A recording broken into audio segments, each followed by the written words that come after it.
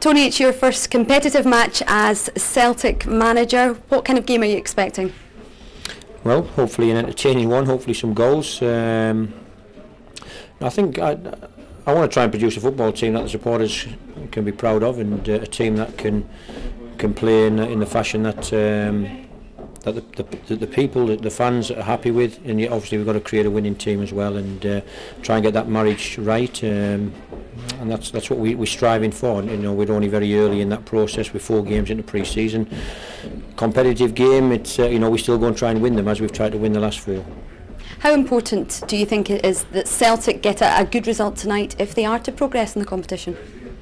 Well, it will help enormously, of course. It's uh, it's always difficult when you're chasing a second leg, I think, and um, particularly with European football when teams can be so good at counter-attacking, which is why tonight's game's very, very dangerous as well. It's um, they're a good side. They've got a lot of good footballers, and uh, they've got a lot of pace in the team. So we must be uh, very wary of that.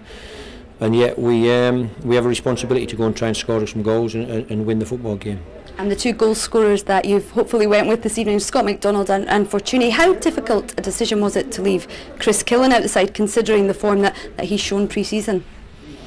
Well, they're all tough decisions, whether it's the centre forwards or the centre halves. I thought, you know, Darren O'Dea was was awesome at, at Wembley at the weekend, and um, you know, they're, they're all big decisions. Ultimately, that's that's your job to make big decisions, and and ultimately we get judged by the decisions we make. If the team wins, every decision was right. If the team loses, you know, you've made a few bad ones, but. Um, that's part of this job. You have to you have to accept that. You, uh, I pick a team for the benefit of the of the supporters and the club to try and win the game, and, uh, and that's what we've done tonight.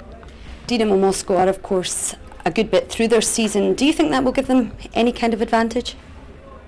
Well, uh, in the, in the terms potentially of fitness, it will do. You know, as I said, we have we four games into pre-season, pre-season where we've had to try and hit the ground running, not as if we've been able to play at half pace and, and, and ease our way into football matches and get our shape and pattern right. It was really, you know, foot to the pedal, you know, hard down really from day one, and uh, You know, I think that's made the difference. To go to Wembley and play against the Tottenham side, for instance, full of superstar footballers with a, with a very young side and win. I think the intensity was the difference in, in of the two teams. Um, we've got to try and make that intensity count tonight. We've got to, you know, the Russian football at times can be methodical and slow build-up. We've got to try and make sure that they're not allowed to do that, and, uh, and we get after them tonight.